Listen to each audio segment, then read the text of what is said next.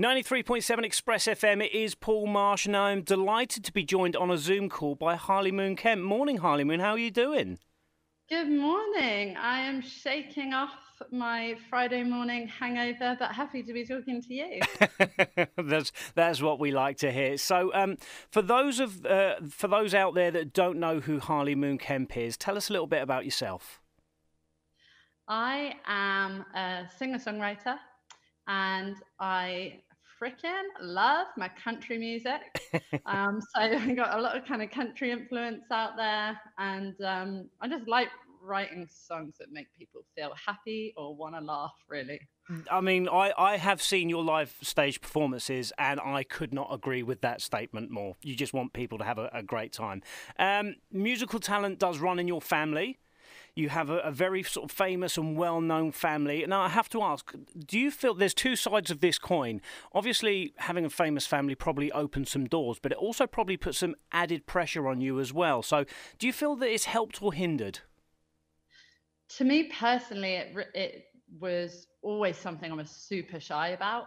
I think I always wanted to do music since I was kind of 15, and I just was so nervous to go anywhere and hear people going, oh, it's so and so's kid, and thinking, oh no, they're not going to like me, or they think you're entitled, but you've worked really hard, and you kind of and you kind of hope that people see past that. And it's taken me a really long time. I always stayed behind the scenes. I always wrote songs for other people and um, was writing for other artists, and then it wasn't actually until lockdown when I thought, okay, I've got nothing to lose here. I'll just put a song out and see what happens. No kind of expectation of anything.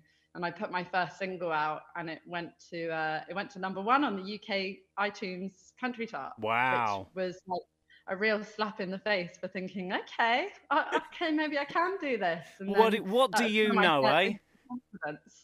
Yeah, it's my first bit of confidence from there, really. So I think it has always made me, yeah, it's made me kind of kind of shy. Um, now, I have to be completely honest here and say something. So, for somebody that is so beautiful, you have awful choices in men, or at least your songs would lead us to believe that. Um, what exactly do you look for in a man? Everything wrong. Or every warning sign you've got, I'll take it. um, so you do have the new single uh, coming out. It's a double A side. You've got coming up and pretty for you. Um, just so for those that we're, we're going to play coming up in just a little bit, for, but for those that haven't heard it yet, tell us a little bit about the tracks. Coming up was um, was actually not written about a guy, which was a nice verse for me. Um, coming up was uh, was just kind of feeling really weighed down by like the news constantly being on and listening to my friends. You know, it, it's such a dark time, and the conversation was feeling so low. And I think I just you don't always want to be living in that space. Yeah, I wanted to feel good. I wanted to get out. I wanted to laugh. I wanted to have fun. And I kind of started writing, I'm coming, I'm coming up. And I, I got so excited when I was singing it and writing it on the guitar. And then um, I just thought, God, if I write this and put this out, maybe it will bring other people joy. And now I love it. I'm dancing in the kitchen to this song. So I just thought, okay, hopefully this brings other people a bit of an uplift even if it's only three minutes. um, and how did it feel writing with Katy Hurt and, of course, Noah and the Whale's Fred Abbott? Yeah, it's awesome. I mean, I've been playing in the same kind of festival circuit as Katie um, in the summer. So I keep seeing her around. I keep hearing her song. I thought she was so cool.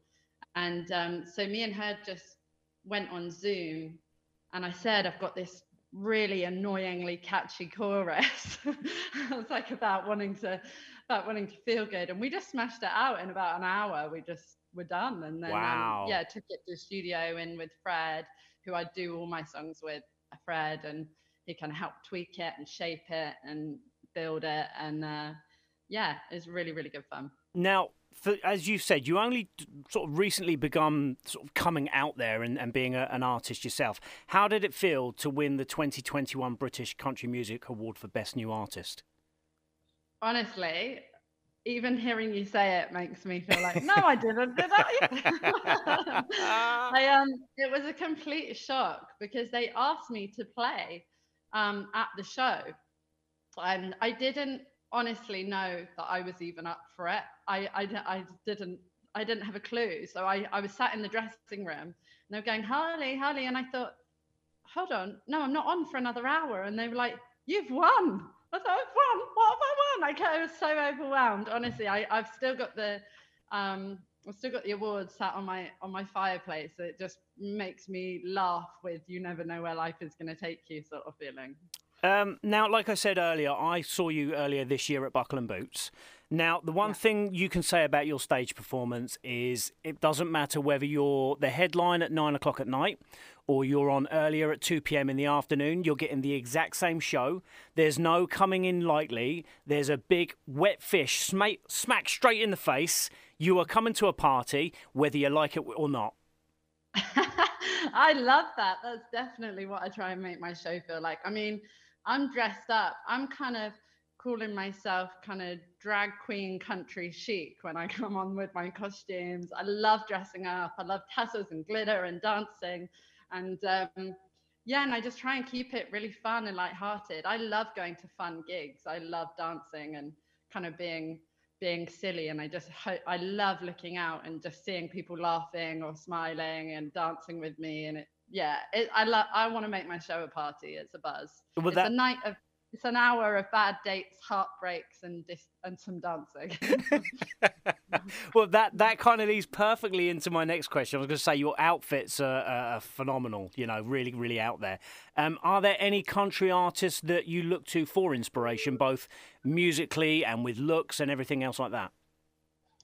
Um, with looks, no, actually, I, I, watch a lot of RuPaul's Drag Race, and they have some great ideas on there of what they're making. So I actually work with my friend who's a costume seamstress. So I kind of come up with some like, hey, what about these pants? But we just like put glitter and tassels all down yeah. the sides, and she's like, yeah, all right, I'll make it. And I like, so me and her kind of just come up with funky ideas together. Um, and then for music, honestly, I listen to everything. I don't know when I'm going to get inspiration from a particular song. I usually do just play like country radio stations where I can just hear all different types of music. And I feel like for me, if I hear something for the first time, that's when I get the most inspiration to want to write. But I love, I love a lot, love Maren Morris or Chris Stapleton, oh. all the good, all the good country pop classics. Um, country music is growing in the UK all the time. Why do you think there has been this massive country music explosion in the last six or seven years? I don't know. You know what, actually? Maybe it was a little bit for me, the Netflix show um, Nashville. Mm-hmm. Yeah. Um, and I was always kind of like playing on the guitar. I, I, I, I write a song as if I'm imagining a film. I'm not trying to write a song. I feel like I'm watching a film, which is a weird thing to no, say. No, no, I, I completely get makes, that. Yeah. Yeah, that also makes the song make sense to me because there's a beginning, a middle, and end, and I can see why I can feel the details of the song, and that's why I like country music because they they write so differently. Um, and I think when I started getting into that Nashville TV show, that's when I just fell so deeply down the Nashville hole. And um, and I don't know if, if that was the same for other people, but very shortly as I started getting into that show as well, I got sent to Nashville to go and write. Okay. And I was just being smacked with Nashville and country music within a really short space of time after kind of doing my own style of music. So it, it, yeah. It, it's funny you should say that because that's exactly how I got into country music. I, I throughout my life I've been into all types of music from from pop and rock and hip hop and everything else. I've been into everything. I love all types of music. Um, I've always been of the opinion that country music was, you know, my wife's left me and the dog's run off and I've lost my job and all of that, and, and, and I struggled with it. And then uh, two things got me into country music. It was the Foo Fighters working with Zac Brown Band, or Dave Grohl working with Zac Brown Band. Yeah. Uh, and I'm a massive Foo Fighters fan, so I got into Zac Brown Band through that. And then Nashville, the TV series, and I was like, hang about. This isn't country music. This is actually more akin to rock music and, and pop music. And, and, and country has just evolved so much in the last 10 to 15 years that it yeah. can't be pigeonholed into that that vibe that it had 30, 40 years ago that we all think of, you know? Not to say that obviously country music from that far ago is, is not good because it clearly, clearly is, but it's evolved, hasn't it, as a, as a genre? Yeah, it's got so much crossover now. I think, you know, there's kind of country pop, country rock, but um, yeah, I love it all. Right, so it is Christmas. It's now the is it the second? Yeah, second of December. What does Christmas with Harleymoon and the Kemps look like? Oh, honestly, I'd say it's kind of lazy. Lots of onesies. Lots of watching telly. No one getting up unless it's to make a sandwich or go to the toilet. That kind of vibe. and by the sounds of it, the odd party or two.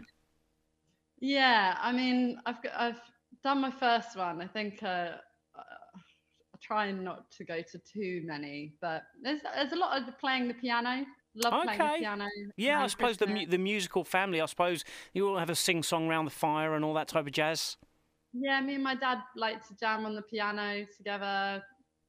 So that's um that's a nice one. And Roman introducing every song is "Shut up."